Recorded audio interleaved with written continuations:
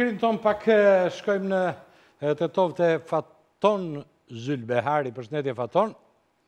Përshëndetje Sulçe, gjithë të ftuarve në studio dhe shikuesve. Kënaqësi që jemi me ju, natyrisht zëdhënës i shtypit në Federatën e Maqedonisë së Veriut, eksponent i rëndësishëm te Shkëndija prej vitesh. Sot menduam më mirë se ju nuk e një njeri zotin Qatip Osmani. Ne jemi munduar t'i marrim intervista por shumë i qetë, shumë i mbyllur, nuk të jep ato që duam. Dhe ne thamë, le të fusim pak nga Maqedonia ta zbulojmë kush është ky personazh që e ka çuar Vllazninë kaq lart së bashku dhe me Bashkim Livrekën.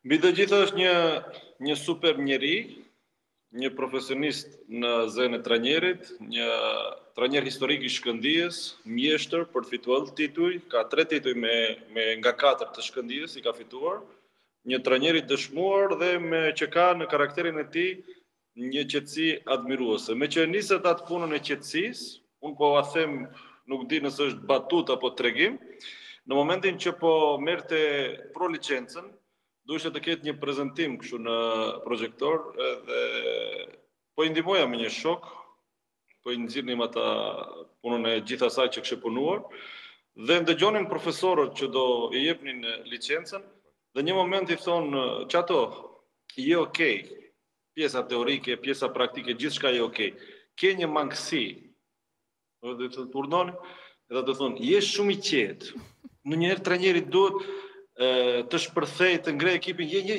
je shumë i qetë në çdo situatë edhe kthehet nga unë edhe thotë Po çfarë të bëj? Sërish me qetësi. Domethënë ky jam unë. Nuk nuk e ndryshon, nuk e ndryshon dot Qatip Osmanin.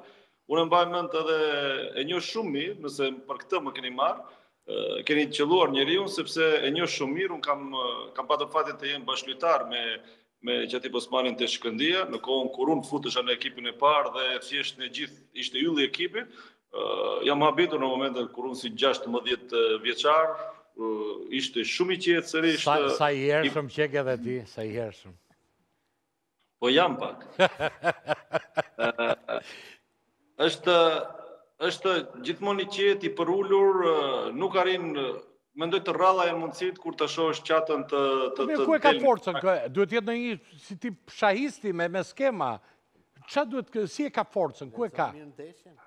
Qatip Osmani forcën e ka tek qetësia dhe loja që po bën gjithmonë bazohet te loja që don ekipi i tij. Jo vetëm, jo vetëm Shkëndija, edhe te Renova.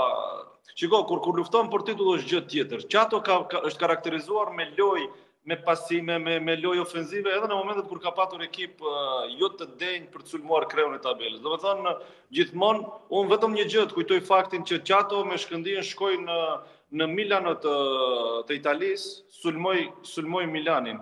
Domethënë, pavarësisht që u rrahëm 6 me 0, ai sërish nuk hoqi dorë uh, Nuk hoqi dorë nga nga loja ofenzive dhe nuk nuk din të mbrohet. Thjesht kërkon futboll, don të fitojë, por këtë don ta bëjë me futboll, me futboll të bukur. Është është super trajner dhe unë i përgëzoj drejtuesit e Vllaznisë dhe kushdo që t'ua ketë propozuar Qatip Osmanin sepse vërtet është njeriu i duhur për për një sukses dhe për një skuadër që kërkon titullin. Faton, përshëndetje edhe njëherë nga unë Vjosana, do doja që të pyesja se si po të duket kjo Vllazni me këtë qetësinë e trajnerit Qatipi.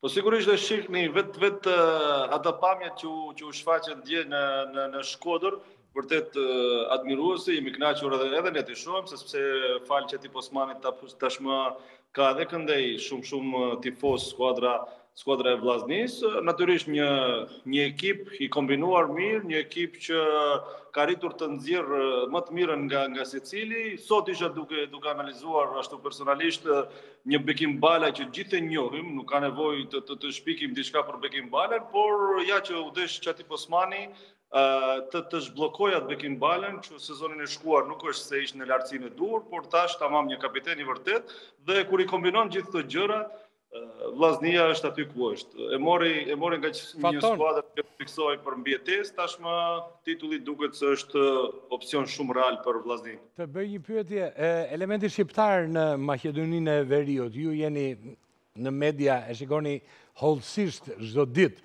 Janë shumë shqiptarë që shqiptarë janë të gjithë normalisht edhe nga ju, po. Këtej, përtej kufirit që kanë vazhdojnë karrierën atje, si tek ekipi i Shpëtim Duros me radhë. Si është performansa në këto javë, se ju e ndiqni më hollësisht? Sot faktikisht nuk di nëse keni pamjet për t'u bashkuar me këtë që po flas, Sot ishte një derbi, po zhvillonin një përballje dy skuadrat që më së shumti përplasen njëra me tjetrën, Shkëndija, një simbol i shqiptarëve këtu në Maqedoni, dhe Vardari, sigurisht ekipi simbol për, për palën maqedonase, ka fituar 3-0 Shkëndija, super ambient, super atmosferë, stadiumi i stërmbushur, dhe për të... Po vijnë dhe pamjet nga regjia, qartë. Ja, për t'u përshtatur me pyetjen që po bëhet, shkëlqeu me dy super gola Eraldo Çinari dhe një gol bëri Bruno Dita. Dy një Shkodran, një ai tiranas, edhe këtu shkëputja që po vinte nga Shqipëria nuk u bë sepse asistin e bënte pikërisht Çinari, thjesht një një ndeshje që është shijuar dhe vazhdon akoma të flitet këtu sepse sot në stadiumin e qytetit në Tetovë ishte ishte një festë e vërtetë. E kam ngacmuar Çinarin, Thashë mbase si një shkodran do doje të ishe i pranishëm dje në këtë spektaklin që bëri Vllaznia përballë Tiranës, por zoti ia ktheu brenda njëzet e katër orëve sepse sot kryefjala ishte Çinari dhe gjithë stadiumi mbi tetë mijë spektatorë gjithë kohën kanë brohoritur emrin e tij. E kam edhe Ditmar Bicajn këtu, ish futbollist i shquar me me shumë ekipe, tashmë në në fillimin e karrierës Për trajner, apo jo Ditmar, si je?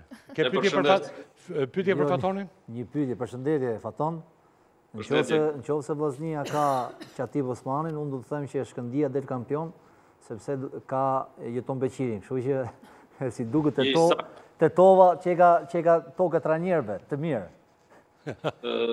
Më vjen mirë, më vjen mirë që kemi mbërritur në këtë në këtë pikë sepse në të kaluarën është dashur të vinë trajnerë të huaj, është dashur që të sigurisht që janë të mirë se ardhur, Tetova, Tetova është do kisha thënë një një sinonim i mikpritjes për gjithë ata, posaçërisht për për ju nga Shqipëria, por është bukur për ta dëgjuar sepse kur po flasim për emra si Qatip Osmani, Dhe Jeton Beqiri vërtet vërtet është kënaqësi. Më bëhet qefi për punën që po bën Jeton Beqiri, sepse unë gjithmonë kam besuar te puna e tij, por për dallim nga Qatip Osmani që ka një emër, ka titull dhe dhe si futbollist, Jeton Beqirit i është dashur më shumë kohë sepse filloi shumë herët si si trajner, mm. shumë i ri dhe tashmë kjo që po bën te Shkëndija, unë besoj që do ta fusë në një në një valle shumë serioze, në një kombinim shumë serioz dhe Jeton Beqiri do të jetë Trajneri është në fakt, trajneri i tashmës dhe i të ardhmes. Do të jetë trajneri kampion në Maqedoninë e Veriut. Mirë, mirë do jetë ajo. Për ta mbyllur ndonjë lajm, ça si e shikon këtë konkurrencën e kombëtares, sepse kanë filluar shënojnë gjithë këta të kombëtares.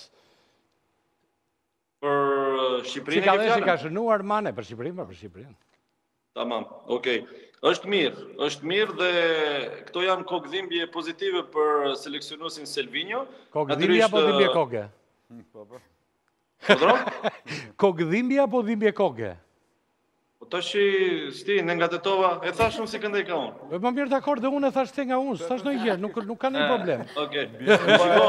Eh, Manaj, forma e Manajt, Cikalleshit dhe gjithë çunave të tjerë, eh, le të kemi dhimbje koke apo kokëdhimbje sido jemi do jemi në Europian dhe do kemi do kemi arsenal cilido që të futet do të jetë në formën optimale. I ruajt, i po? ruajt zoti çunat nga nga lëndimet, gjëra të tjera janë okay, po e bëjnë punën në terren. E dihet ajo, Faton si gjithnjë je karizmatik në deklaratat e tua. Jam origjinal tashi nëse ajo të tingëllon si karizmatike, të falenderoj për komplimentin. Okej, okay, të falenderoj dhe unë që ishe me ne. Faleminderit shumë. Ishte kënaqësi.